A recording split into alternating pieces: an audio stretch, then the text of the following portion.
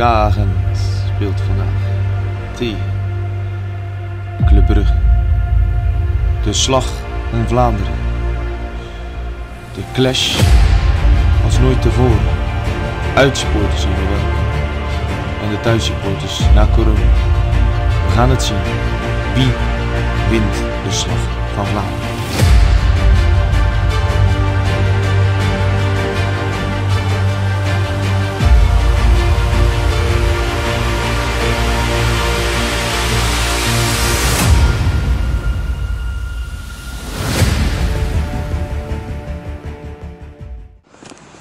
Goeiedag heren. Het is vandaag niet zomaar een dag. Het is matchday. Matchday. Eh Gent speelt vandaag deze dag tegen Le Club, Le Brugge. Ploeg uit de Champions League. Als ze de stand erbij halen. Dus gaat u zien dat. eh, ja, op dit moment Gent middenvoor staan aan Brugge. Ze kunnen wel een goede reeks neerzetten door punten dichtbij te komen. Vandaag de dag. Het is een beetje een vergelijkbare eh, sport eh, in Nederland. De lokale club Gent tegen eigenlijk bekende ploeg in België, Club Brugge. Wat misschien Europees over het algemeen alles groter staat. Maar daarom hou ik zo van Gent. Het is een, een want mijn vraag was waarom kies je voor Gent? Ja, weet je, ik kan voor Brugge kiezen. En ik heb ook niks tegen Brugge. Ik ben natuurlijk een, een, kom uit Nederland. Ik kan daar ook niet. Hey, dat zelfs hier gaan ze misschien ook niks tegen hebben, wat ik misschien wel weer heb. Eh, dus ja, dat kan je niet vergelijken. Eh, maar ik ben wel zo iemand van.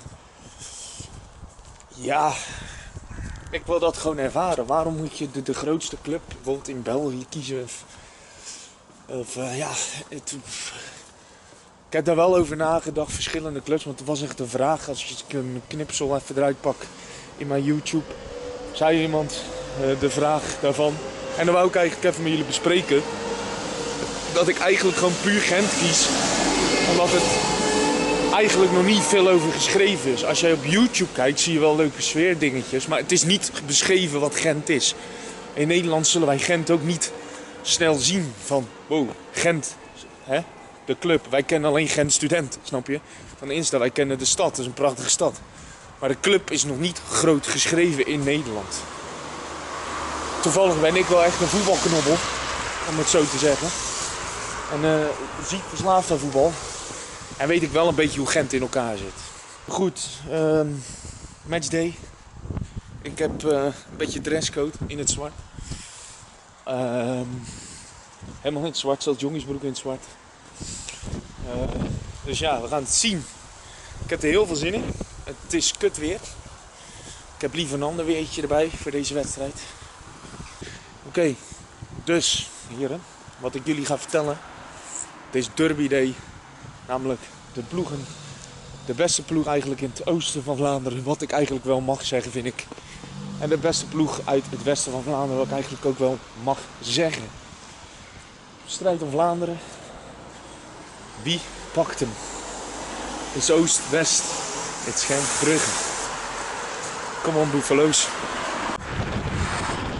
Ongelooflijk. Ik weet niet of jullie mij goed kunnen horen. Maar hij vliegt gewoon nog steeds. Ik vind het een beetje overdreven. Ik bedoel, eh, ik heb in ieder geval nog nooit echt akkefietjes gezien op internet of social media wat ik gezien heb.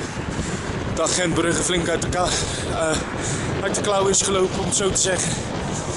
Dus ja, maar goed, zeker voor het onzekere. Misschien is het niet druk in de stad Gent voor de politie. Dus ja, kom ze hier maar een beetje zijn. Zo werkt dat. Dit zijn wel wedstrijden waar je twee keer bij moet na gaan denken. Ik bedoel, eh, hoe zeg je dat? Weet je, je wilt losgaan, je wil gekke sfeer maken, je wil. Maar je achterhoofd moet je ook weten, er staat misschien weer zo'n undercover agent. Hier is dat zo bloedfanatiek. Anyways, het is wel vandaag een wedstrijd dat je dat heel belangrijk gaat zijn. Niet zozeer voor eh, ons, maar overal. Vooral bij deze wedstrijd. Is de politie. En ook voor de Bruggenfans. Is het ook twee keer goed nadenken. Trek je kleding aan. Of niet? Misschien zal het lukken in de familievak. Ik weet niet hoe fanatiek Gent daarin is. Of je er dan uit wordt getrapt of niet. Maar eh, in Nederland is het wel zo. Als je derbywedstrijd hebt, dan zit je in het kindervak. Word je nog in elkaar geslagen, helemaal weggedouwd. Ik weet het alleen niet hoe erg het hier kan zijn. Ik ga het allemaal beleven. Het is uitverkocht. Ik hoop niet dat uh, Brugge mensen een kaartje hebben gekocht. Maar ja, het is, Brugge is niet ver van Gent, hè. Dus ja, je kan ook uit Brugge, in Brugge wonen en van Gent zijn. Het zal niet vaak voorkomen. Het zou eerder andersom eh, helaas zijn. Maar goed, die regendruppels helpen ook niet echt mee. Maar goed, ja. Matchday. Fucking matchday. Derby days. We gaan twee afspeellijsten uploaden. Zowel in het jaar van en in Derby days wat ik ook met Liel heb gedaan. Of eh, Lens Liel. Feyenoord Ajax staat allemaal erin. Kijk in mijn afspeellijst. Derby days. En eh, daar zie je al die wedstrijden. Waaronder ook deze gaat voorkomen. Het is druk, heel veel mensen. Maar we gaan het zien. Lekker joh, Riphouse ook aanwezig. Onze uh, Riphouse, lekker joh. Politie staat bij de ingang. Dus eh, ja, het zal zwaar worden om naar binnen te komen. Er staan echt bewaken bij de harde kernzijde. Het is toch iets, een andere sfeer. Het brengt wel een andere belevenis. We gaan het zien. Volgens mij komen hier de, de Brugge-fans aan. Vrij laat trouwens voor de wedstrijd. Politie zit erop. Paarden lopen mee. Het is niet heel erg bewaakt. Je kan zo aanvallen. Niemand staat op te wachten. We mogen niet oversteken. Kijk wat er gebeurt. Hè. Nu niet veel. We gaan daar bussen heen, we gaan daar bussen heen. Druk. Het is volle bak. Het loopt goed vol.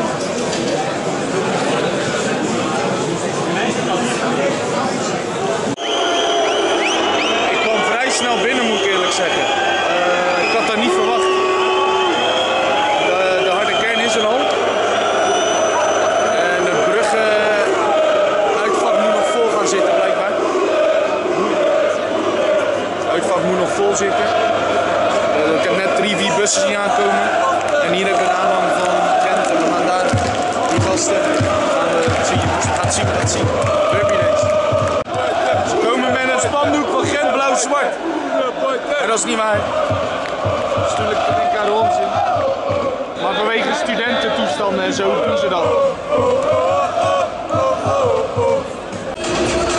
Goed, matchday. Vandaag gaat het beginnen. Eh, sfeeracties zijn nog klaargezet. Eh, alles is ready. Ik ga het zien. Ik ben benieuwd. Is de wedstrijd van het jaar. Dus eh, ik ga het zien. We lopen weer flinker naar beneden om bij de harde kern de boel te verzieken, mensen stadionverboden weer te geven.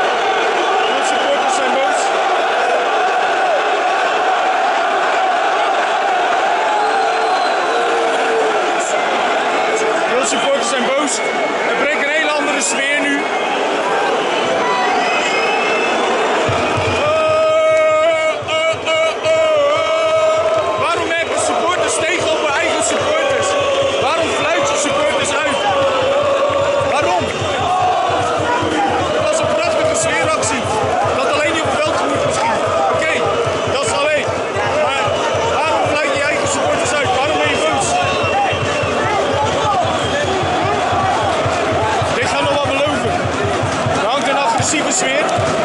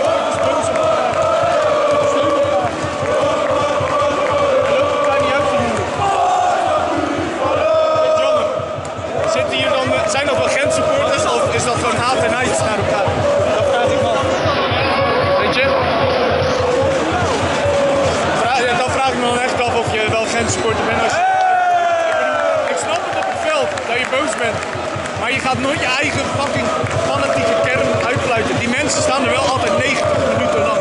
Dus, en de meesten die hier zitten zijn niet maar één keer voor de wedstrijd. Dus je moet het ook zien.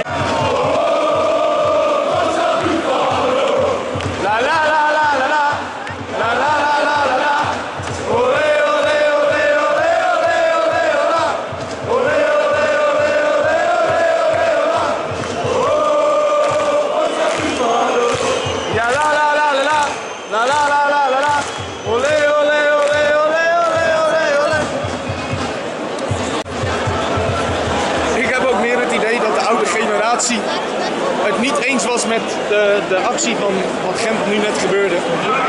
Maar oké, het veld op gooien en de doelman staat daar. Alleen dat, dit, hoort niet, nee. Daar ben ik het eens. Maar die vakactie was echt fantastisch. Ik gaf een zachte boost en ze maakten een doelpunt. Vergeet dat nooit. No Fido, no party. Spelers gaan daar wel echt op gewoon. Dus fluit dat niet uit en support elkaar. Je bent één team. Ik snap het op straat. Fluit dat nooit uit. 20 euro erop alsjeblieft. Ja.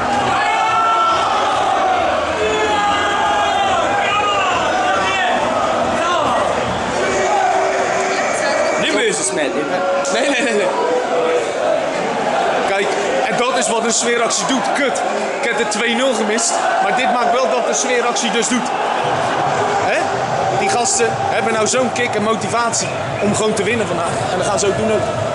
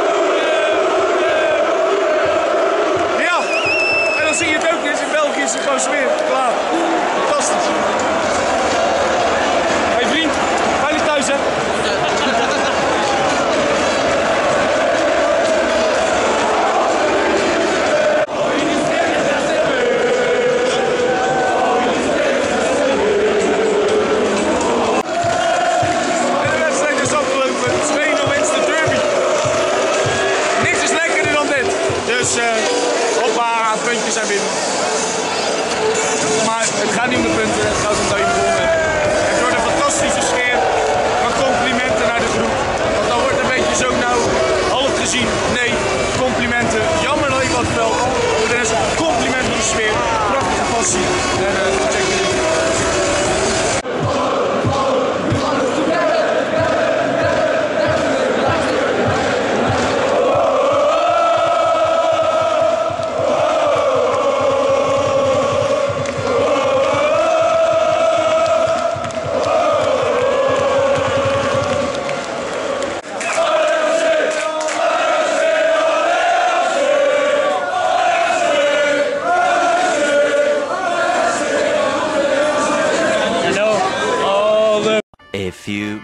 Later.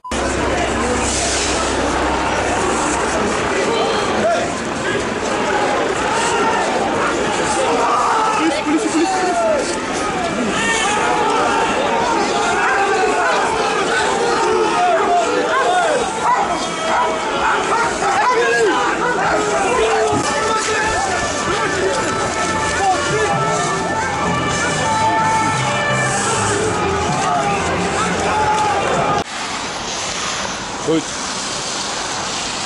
Het is afgelopen, de wedstrijd. En eh ja. Holy fuck, ouwe.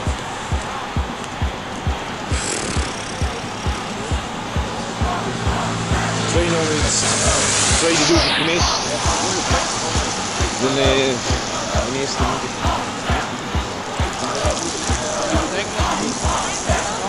Goed. Wat kan ik zeggen over de sfeer? Eh, ja. Ik moet gewoon bezinken. Het is echt, had ik niet verwacht. Het was wel next level. Niet alleen, eh, niet alleen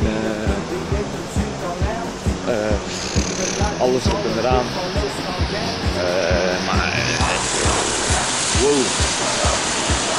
Was het echt waar. Eh, als, als Nederlander zou ik zeggen, joh, waar je vandaan komt, ga het een keer bekijken. Het is, eh, het was te zot voor woorden om het zo op zijn Vlaams te zeggen.